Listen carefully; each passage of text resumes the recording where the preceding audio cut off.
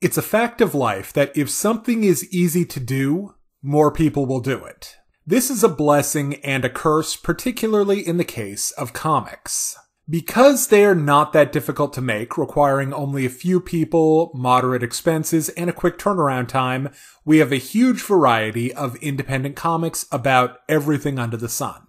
And most webcomics are free to read. But there's an awful lot of them, so making an impact with a comic is unfortunately hard to do. So, I thought I would show off an interesting entry into the magical girl subgenre I came across during my time in the wild hinterlands of the World Wide Web. Allow me to introduce you to the webcomic Chaos Arena Crystal Fighters. The premise is basically a Maho Shoujo take on Ready Player One crossed with Fight Club. Our main characters are Stella, who's kind of a scrappy tomboyish type, and Jessica, who's more an airheaded gamer girl. They live in a not too distant future with virtual reality holodeck Sword Art Online style video games that really immerse you into the experience, if you know what I mean.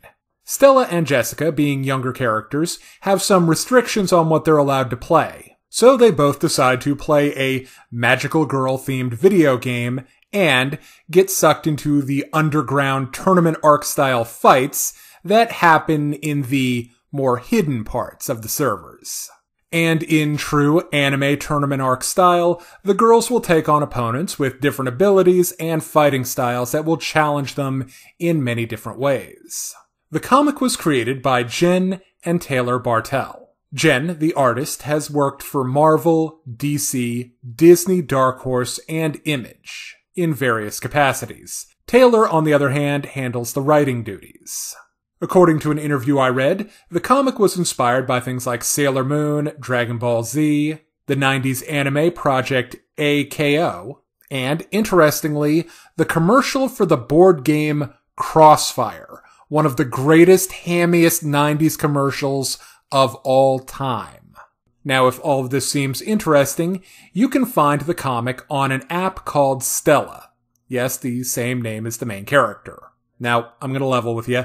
This app does not sound all that good. Stela, the app, comes off like a worse version of Webtoons. If you are not familiar with the concept, Webtoons is a way to read comics on your phone, essentially.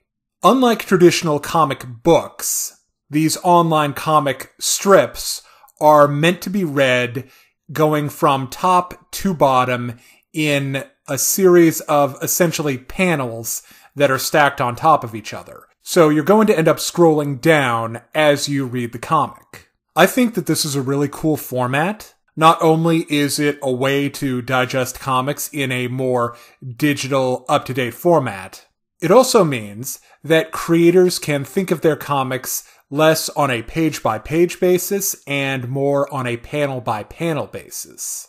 It has a lot of interesting possibilities for how the comic flows, what you do with fight scenes. It's a cool concept. But unfortunately, Stela doesn't seem like it's making the most of it. Unlike Webtoons, which allows anyone to put their comics up for the community's approval, with the most popular titles being the most heavily advertised and marketed to consumers, Stela is curated with a set of titles, and the whole thing essentially functions like an old style comic house a la Marvel, DC, Image, Dark Horse. Choose your company. The app is available from the Google Play Store, and you have to buy comics through the app in order to read them.